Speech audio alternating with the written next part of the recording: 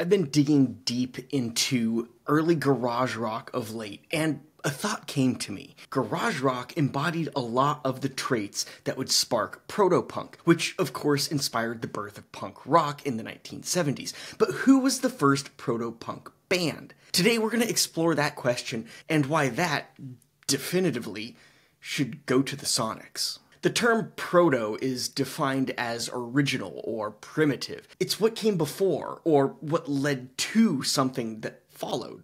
So proto punk led to punk. It's characterized by a raw, minimalistic approach to rock music paired with a rebellious attitude that was often reflected in the vocal delivery and lyrics. Many of these things overlapped heavily with garage rock. Bands that played proto punk often challenged the status quo, both musically and culturally. They stripped rock to its bare essentials, rejecting the excess and production of mainstream rock in favor for a more direct, in your face style. Again, similar to garage rock. And nowhere was this burgeoning sound more potent than in the Pacific Northwest, where a group of young men formed a band that would come to define not just garage rock, but the earliest of the proto punk sound the Sonics. Welcome to Poetic Wax. I'm your host, Andy Fenstermaker, and I bring you stories from the history within my record collection songs, albums, bands, every single week. Today, I'm pulling out a handful of original pressings by the legendary garage rock band the Sonics from the Pacific Northwest. If you aren't familiar with these guys, I really wouldn't be surprised. I mean, the albums are pretty much 60 years old.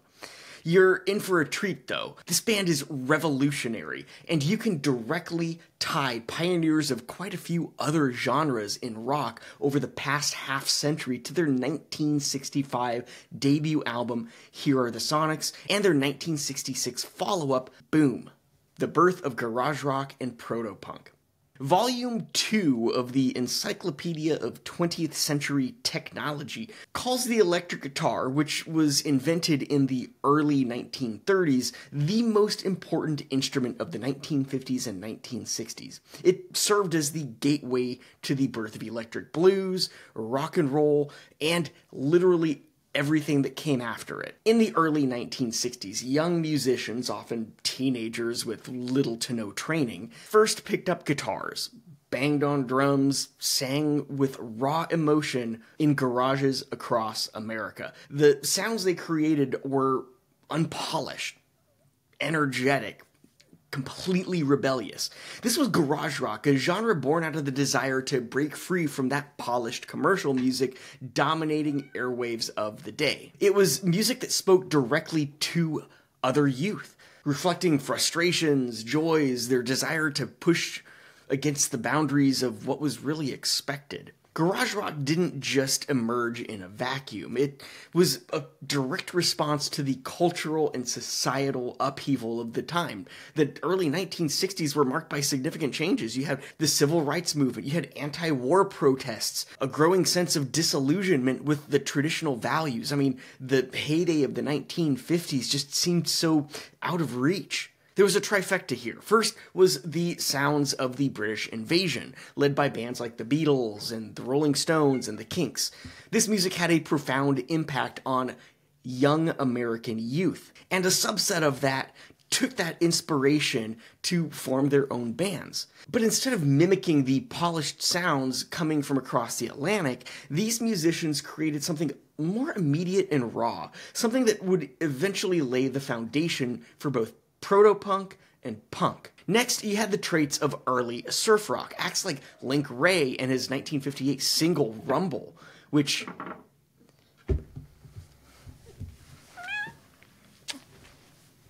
Next, you had the traits of early surf rock, acts like Link Wray and his 1958 single Rumble, which featured a distorted, clanging guitar sound. And finally, early garage rock groups pulled in a third influence, R&B acts like Chuck Berry, Bo Diddley, and hell, even Ritchie Valens. The Pacific Northwest, birthplace of raw power. The Pacific Northwest was a hotbed for garage rock in the early 1960s. In a piece titled Proto Punk, the garage bands Lester Bangs wrote The origins of garage rock as a genre can be traced to California and the Pacific Northwest in the early 60s. That region, particularly around Seattle and Tacoma, was home to a number of bands that were pushing the boundaries of rock music. You had the Kingsmen and the Wailers, but none pushed harder and faster than the Sonics. Formed in Tacoma, Washington in 1960, the Sonics were the epitome of energy and aggression. They took basic elements of rock and cranked them up to 11. An early lineup of the Sonics included Gerry Roslie on vocals and keyboards. Roslie remains with the band to this day. Yes, that's more than 60 years later. There was Larry Parypa on guitar, another mainstay, and his older brother Andy on bass, and there was Bob Bennett on drums and Rob Lind on saxophone. In the decades since their debut, the lineup has seen a number of changes, though Gerry, Rob, and Larry remain as of 2024. Each member brought something unique, but it was their collective chemistry that made the Sonics a force to be reckoned with. Larry's distorted guitar riffs combined with Bob's pounding percussion and Roslie's wild almost unhinged vocals, created a sound that was unlike anything else at the time. It was loud, it was fast, it was completely rebellious, a perfect reflection of the angst and energy of the youth of 1960s Pacific Northwest. Like other garage bands of the day, like the Wailers, the Sonics were heavily influenced by the raw R&B sounds of the 1950s, as well as early rock and roll. But unlike others of the day who were also influenced by this music, they made their sound their own without overtly imitating them. This created a sound that was dirtier, meaner, and a hell of a lot more aggressive. I mentioned the Wailers. You can't talk about the Sonics without giving a nod to the influence the Wailers had on them as well. Their live performances as well were completely legendary, full of energy and intensity, and it was at one of those early shows that they caught the attention of Etiquette Records, a small label founded by Buck Ormsby of the Wailers a sonic boom of music. In 1965, the Sonics released their debut album, Here Are the Sonics, on Etiquette Records. This album would go on to become one of the most influential records in the history of garage rock and proto-punk. Recorded quickly and on a tight budget at Audio Recording in Seattle, Here Are the Sonics captured the unfiltered energy of the band.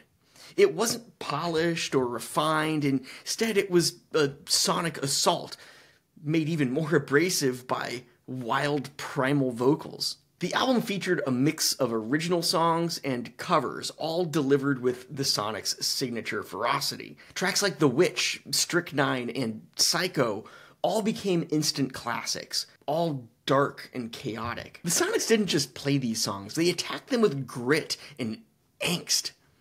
They're abrasive and undeniably compelling, with the use of distortion and reverb which was groundbreaking at the time. And again, all of this was made even more so thanks to the feral vocal screams. Locally and regionally, Here Are the Sonics was a hit. The band's reputation as the wildest, most intense act in the Pacific Northwest certainly helped elevate them among the local youth. And the release became quite the party album as well. In fact, I've owned a number of these original pressings over the years always trading up to the higher quality. And my current one is still beat to hell. The Witch would become the biggest selling local single in the history of the Northwest at the time, despite radio play restrictions due to questionable subject matter that was anything but puritanical. Nationally, the album didn't make much of a commercial impact, at least not initially. But as the years went by, here Are the Sonics gained quite the cult following, eventually being recognized as a seminal work that laid the groundwork for the punk rock movement. The Sonic sound was a direct reflection of their influences. They took that raw energy of early rock and roll, the rebellious spirit of R&B, and the loud, aggressive sounds of contemporary garage bands like the Wailers, and they turned it all up a notch. The result was a sound that was uniquely theirs and one that would go on to influence some of the biggest names in punk and rock music. The roots of proto punk, punk rock, alt rock, and even grunge can all be traced back to Here Are the Sonics. pioneers of punk. In many ways, the Sonics were the first proto punk band, and thus pioneers of punk rock.